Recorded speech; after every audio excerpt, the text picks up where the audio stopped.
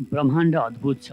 यही अद्भुत ब्रह्माण्डमा हाम्रो सौर्यमण्डलमा एउटा ग्रह छ युरेनस जसमा हिराको वर्षा हुने गर्दछ। यही हिराको वर्षा हुने निलो युरेनसका अनेक रोचक र अद्भुत रहस्यहरूबारे यो भिडियोमा चर्चा हुनेछ।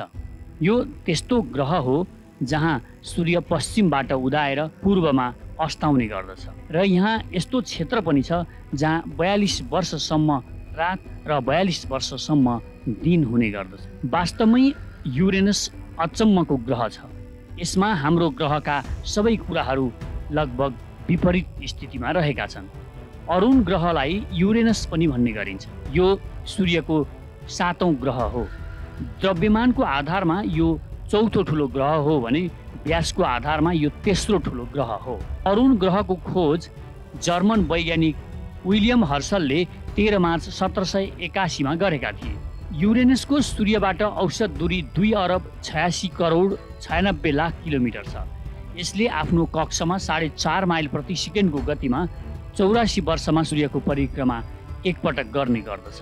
युरेनस पृथ्वीभन्दा चौसठी गुणा ठुलो छ तर यसको घनत्व पृथ्वीको घनत्वभन्दा कम छ अत ओजनको हिसाबमा यो केवल पन्ध्र पृथ्वीहरू बराबर मात्र छ। विल्डरका अनुसार युरेनसमा धातुको व्यास बाइस हजार चार सय किलोमिटर छ। यसमाथि आठ हजार चार सय किलोमिटर बाक्लो हिउँको पत्र छ र फेरि त्यसमा चार हजार सात सय किलोमिटरको वायुमण्डल छ। रेम्जेको मत अनुसार युरेनस मुख्यतया पानी मिथेन र एमोनियाबाट बनेको छ। यसको बाहिरी आवरणमा बयासी पोइन्ट पाँच प्रतिशत हाइड्रोजन र दुई पोइन्ट तिन प्रतिशत मिथेन पन्ध्र पोइन्ट दुई प्रतिशत हिलियम ग्यास छ। मिथेन ग्यासको कारणले अरुण ग्रहको रङ निलो देखिने गर्दछ। यो ग्रहको वातावरणमा मुख्य रूपमा हाइड्रोजन हिलियम र मिथेन ग्यासको पर्याप्तता छ। मिथेनले सूर्यबाट प्राप्त सबै किसिमका राता किरणहरूलाई अवशोषित गरेर निलो रङ्गमा प्रदर्शित गर्ने भएकाले यो ग्रह एकदमै सुन्दर र निलो रङ्गमा देखिने गर्छ। ओटावाका हर्जबर्गले यस ग्रहमा खुल्ला हाइड्रोजन ग्यास पत्ता पनि लगाएका छन्। सम्भवतः यसमा हिलियम ग्यास पनि छ। अत्यन्त चिसो भएकाले युरेनसको तापक्रम लगभग सबै ठाउँमा शून्यभन्दा कम छ। यो ग्रहलाई आइस जाइन्ट पनि भन्ने गरिन्छ किनकि यो मुख्य रूपमा हिउँले बनेको छ। अरुण ग्रह सौर्यमण्डलमा सबैभन्दा चिसो ग्रह हो। यहाँको न्यूनतम तापक्रम माइनस दुई सय चौबिस डिग्री सेन्टिग्रेड पाइएको छ। अरुण ग्रहको व्यास एकाउन्न हजार एक सय अठार किलोमिटर छ। अरुण ग्रहको नामबाट नै युरेनियम पदार्थको नाम पनि राखिएको भनिन्छ। अरुण ग्रहको खोज अन्टार्कटिका महाद्वीपको खोजभन्दा पहिले नै भएको थियो। अर्थात् पृथ्वीको अन्टार्कटिका खोजिनुभन्दा धेरै पहिला नै युरेनसबारे वैज्ञानिकहरूले पत्ता पाइसकेका थिए। युरेनस ग्रिक देवताको नाममा आधारित भएर राखिएको हो भने यता हिन्दूहरूले अरुण देवताको नामबाट यस ग्रहको नाम राखेका छन्। युरेनसमा बयालिस वर्षसम्मको ग्रीष्म ऋतु रहेको हुन्छ। युरेनस यति ठुलो भएर पनि पृथ्वीभन्दा धेरै ठुलो भएर पनि यसलाई पृथ्वीबाट नाङ्गो आँखाले देख्न कठिन हुन्छ। अर्थात् देख्नै सकिँदैन भने पनि हुन्छ। र यसलाई हेर्नको लागि दूरबीनको आवश्यकता पर्दछ। अरुण ग्रह एकदमै निलो देखिन्छ।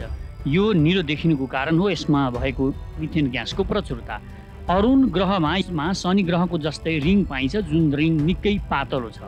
र यो रिङलाई अल्फा बिटा गामा डेल्टा एवं इप्सिलान भनिन्छ। अरुण र वरुण ग्रहको वातावरणमा बृहस्पति र शनिको तुलनामा अत्यधिक मात्रामा हिउँ रहेको छ। पानी र हिउँको अलावा यसमा जमेको अमोनिया र मिथेन ग्यासको बरफ पनि पाइन्छ र अरुण ग्रह आफ्नो अक्षमा लगभग बयासी डिग्री झुकेको छ जसको कारणले यो सुतेको जस्तो देखिन्छ। त्यसैले यसलाई सुतेको ग्रह पनि भनिन्छ। अरुण ग्रहको अक्षीय झुकाउ सन्तानब्बे पोइन्ट सतहत्तर डिग्री रहेको छ। त्यसैले यसको परिक्रमा दूरी लगभग समानान्तर छ। हाम्रो सौर्यमण्डलमा भेनस र युरेनस विपरीत दिशामा घुम्ने गर्दछन्। पृथ्वी र अरू ग्रहहरू जसरी घुम्छन् त्यसको ठिक उल्टो दिशामा यिनीहरू घुम्ने भएकाले यहाँ सूर्य पश्चिमबाट उदाएर पूर्वमा अस्ताउँछ हाम्रो सौर्यमण्डलका चारवटा ग्रहहरूलाई ग्यासका दानव भनिन्छ किनकि यसमा माटो र पत्थरहरू ढुङ्गाहरू भन्दा बढी ग्यास छ र यसको आकार निकै विशाल रहेका छन्। अरुण यस्तैमा एक ग्रह हो। बाँकी तिन ग्रहहरू बृहस्पति शनि र वरुण हुन्। अरुण ग्रहको बनावट वरुणसँग लगभग मिल्ने गर्दछ। युरेनसमा बादलका कैयौँ पत्रहरू रहेका छन् र यो पत्रहरूमा सबैभन्दा तल पानीको बादल रहेको छ र सबैभन्दा माथि चाहिँ मिथेन ग्यासको बादल रहेको छ। यो पनि मानिन्छ कि यदि कुनै तरिकाले अरुण ग्रहको बिचमा गएर एकदमै बिचमा गएर त्यसको केन्द्रलाई हेर्ने हो भने त्यहाँ हिउँ र पत्थर पाइन्छ। शुक्र ग्रह जस्तै अरुण ग्रहले पनि सूर्यको परिक्रमा यसले पूर्वबाट पश्चिमतिर गर्ने गर्दछ।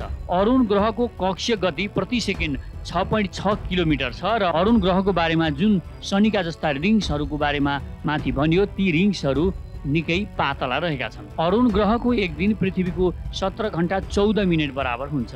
अरुण ग्रहमा सूर्यको किरण आइपुग्न दुई घन्टा चालिस मिनटको समय लाग्दछ। यो पृथ्वीको पृथ्वीमा सूर्यको प्रकाश आउनुभन्दा बिस गुणा बढी लाग्ने समय हो। अरुण ग्रहको ओजन पृथ्वीभन्दा चौध गुणा ठुलो छ। अरुण ग्रहका जम्मा सत्ताइसवटा प्राकृतिक चन्द्रमा उपग्रहहरू रहेका छन्। यी सबैको नाम एलेक्जेन्डर पोप सेक्सपियरका रचनाहरूबाट राखिएको छ। सबै उपग्रहहरूमा टाइटेनिया सबैभन्दा ठुलो उपग्रह हो। अरुण ग्रह आयतनको हिसाबले यति ठुलो छ कि यसमा त्रिसठीवटा पृथ्वीहरू अटाउन सक्छन्। पृथ्वीको तुलनामा अरुण ग्रहको गुरुत्व आकर्षण शक्ति कम छ। यदि पृथ्वीमा कोही वस्तु कोही चिज दस फिट माथिको उचाइसम्म उफ्रिन सक्छ भने अरुण ग्रहमा एघार फिटको उचाइसम्म उफ्रिन सक्छ।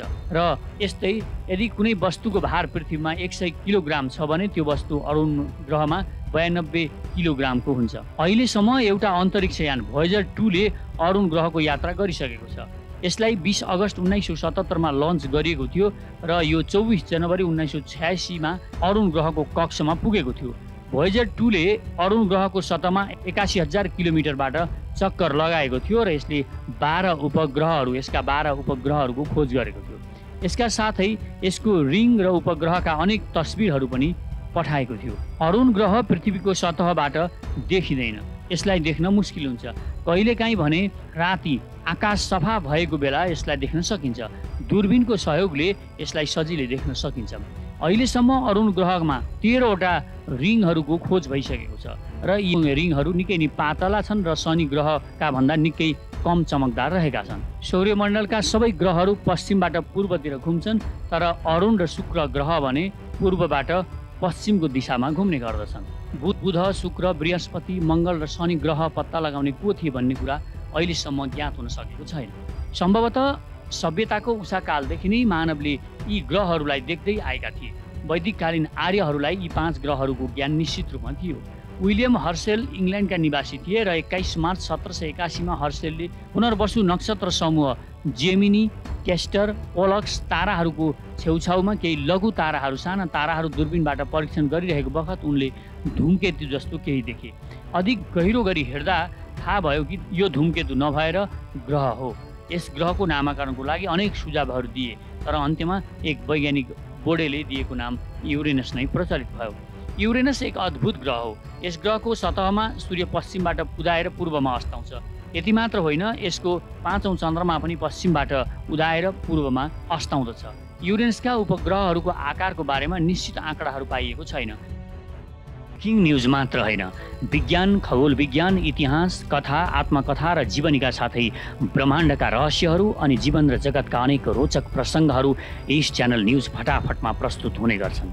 यस्तै यस्तै भिडियोको लागि हामीलाई सब्सक्राइब गर्नुहोला र नयाँ भिडियो सर्वप्रथम हेर्नका लागि नोटिफिकेसन प्राप्त गर्न बेल आइकन पनि दबाउनुहोला।